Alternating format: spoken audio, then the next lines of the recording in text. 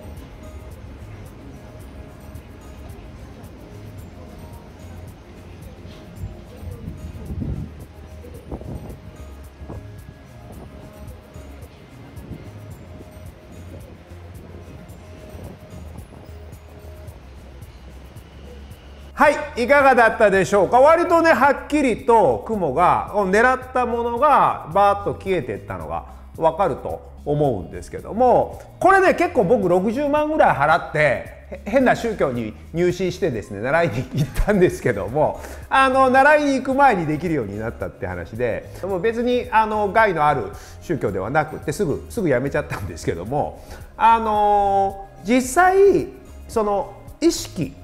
意識っていうのは、えっと、波なんですね。で私たちの体っていうのはその波を出したり受け取ったり送受信ができる。で、えー、と神経活動っていうのは神経活動もそうです神経活動だけじゃなくって筋肉や心臓が動くっていうのは神経から出た電気ですね。電位波が心臓に伝わってそれがわばっと広がるって形になってですね。リンパっていうのは実はリンパ血管っていうのは迷走神経に支配になってますのでこれがこう広がるっていうことはもう本当にリンパ管と毛細血管って合わせるとものすごい距離のこう網目状のものになってるのでこれがえ、ー、と何て言うのかなあのパラボラアンテナになって送受信ができるっていう形なんですけどもだからまあ世の中でチャネリングとかいたこさんとかっていう人たちは彼らは何やってるかっていうと受信送受信をまあ携帯電話のように物理的にやってるわけですよ。えー、それともう一つはあのそれそれだけじゃなくってそれだけじゃなくって、えー、と電気っていうのは割と今全体にあるんですけど意識っていうのはあの実はえーと、電気の電気的なものだけじゃなくって量子的なことをやってるらしくて、えー、それをすると要するに、えーと、物質に対してその振動が伝わったりするっていうふうに言われててそれはで雲みたいなものだとこう物質化っていうのがその粒子状であるので、えー、その粒子っていうのは実は共振しやすいわけですね。私たちのその電子とか光子とかっていう物質も意識によって軌道が変わったりするっていうわけですからそういったもうちょっと大きな分子水の分子になるんですけども雲っていうのはねその分子っていうのはそのその辺の電位とかそういったものに影響を受けやすいものだと思いますのでそれをすることによってそれをするっていうか要するにあの雲を、まあ、消えるって決めるだけなんですよ。これって標準を合わせてあとは意識で念じるんじゃなくって体でちょっと体をちょっと広げる感じにしてあの雲を感じるだけですね雲を感じるとそうするとあの思った方に確率が触れるっていうのかな思いの力って言って思いの力なんですよ。思いの力。思いの力。要するに思いの力は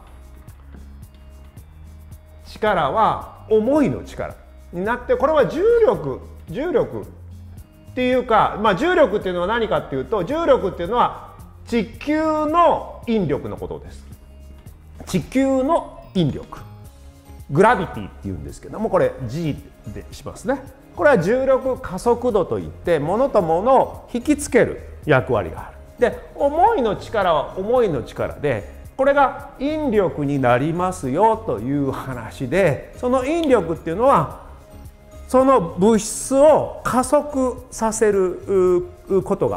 ができるっていうかその捉え方によって私たちはあこれらに影響を与えることができるってことは実際に二重スリットの実験で量子力学的に分かっているという形になりますのでこの思いの力は実際に私たちの意識思考っていうものは重力の影響を受けないでしょ重力の影響を受けないんです。ということは他の物質は全て重力の影響を受けるのに思いだけはね意識だけは重力の影響を受けない。ということはもう思いは思いに違いないという形になっててそれが波として共振することによって思ったようにまあ雲が消えるぐらいの葉っていうのはあの何の影響かもちょっとよく分かんないんですけども私たちの意識がそれに影響を及ぼす可能性が大きいということをなんとなく思いながらやるとできてしまいます。でこれはえいやそんなことやったってできないんじゃないの？で終わってる人は一生できないし好奇心を持って何度かやってもらうと絶対にできるようになってですねそれは結構確率的に非常に高くできます。なのでまあ本当にねあの割と晴れた日の晴れた日のまあ本当に空に浮いてるああいったポコポコっていくつか雲がある中の1個を選んで、えー、あれ消えると思っただけででちょっと体を開いてまあセルフケアリンパケアをして、えーと、リンパ管を開いて瞑想神経が要するに思考で考えちゃいけなくって体側でこう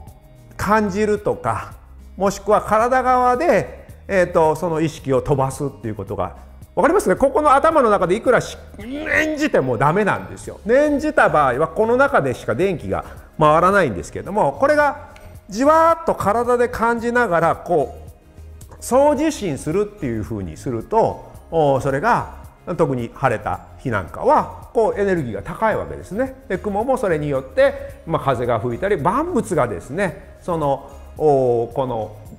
電波とか意識とかっていう中で、まあ、自分が幸せを感じながらそれをすることによって雲っていうのはほぼ確率的に非常に高い確率で、えーと、できるようになりますので皆さんも是非、えーと、リンパケアをやってですねできなかったらちょっと緩めて筋肉緩めて、えーとやってやるとこれもあのお稽古なりますのでリンパケアのお稽古にもなりますしまあ自分が思い通りに生きる一つの稽古にもなっていきますので是非皆さんもやってみてください。はい、じゃあやり方ですねやり方はまあじゃあ一回全部本当になでなでするぐらいでいいのでリンパケアをしてそしてえっ、ー、と雲を1個選びます。選びます。であんまりでっかいのでもダメなんですけども割とちっちゃいもので同じような雲がいっぱいあるところでもいいと思うんですけどもそれを選んで、まあ、あれっていうだけですね。あれって言ってただあれあれが消えるって決め決めるんですね。決めてただまあ深呼吸をゆっくり「はあ」とかやるんじゃなくって「はあ」とかこの気持ちよさ天気のいいところがいいいいと思いますけど気持ちよさを感じながらあそれをぼやぼんやりと眺めておくと本当に2分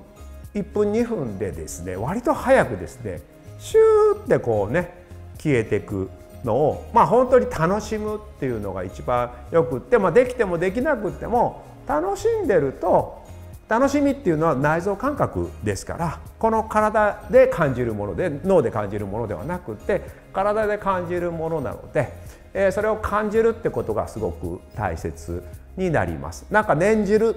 のはよくありませんのであ本当にあ気持ちいいなっていうことを感じるだけですね。なのでやることは別に何もただ決めて感じるだけです。ちょっと体を開くとよりいいかなと思いますので。えー、ぜひやってみてください。えっ、ー、と今日の動画いかがだったでしょうか？今日の動画ね良かったと思ったら高評価ボタン、それからですね、えっ、ー、とコメントありましたらできたよ、できなかったよとかいろいろコメントありましたらぜひコメントの方よろしくお願いします。それからですね、えー、チャンネル登録がまだの方はチャンネル登録よろしくお願いいたします。